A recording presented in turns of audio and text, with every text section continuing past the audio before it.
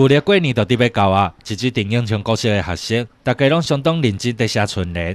毋过老师伫顶头所教的春联，毋是咱平常时所看到的对联，说是写着食菜头，年年好彩头。有的学生甚至是画龙、画菜头、元宝以及鱼仔等等，原来是好好结合台湾俗语以及书法的课程。伫过年前，互学生会当体验无共款的教学方式，嘛互大家感觉相当的趣味。有，我觉得很有趣。那你比较喜欢画画还是写书法？写书法。怎么说？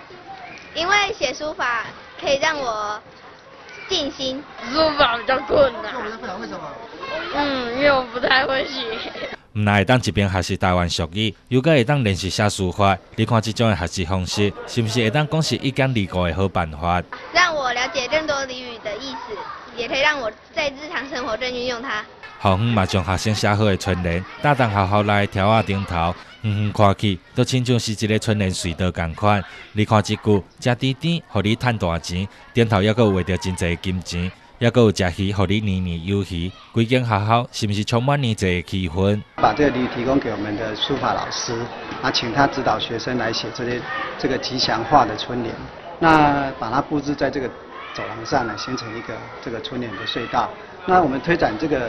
这个书法教育啊，已经很久了哈，长期以来已经啊推动这个书法的教学。那这个俚语的部分呢，是配合我们的本土语教学，让学生认识一些俚语。用春联来布置成的隧道，点头所写的春联是不是都相当趣味？唔但学生感觉好耍，就连外人看到嘛感觉新鲜。这个春联隧道嘛变成别个学校所无的特色。记者蔡凯采访报道。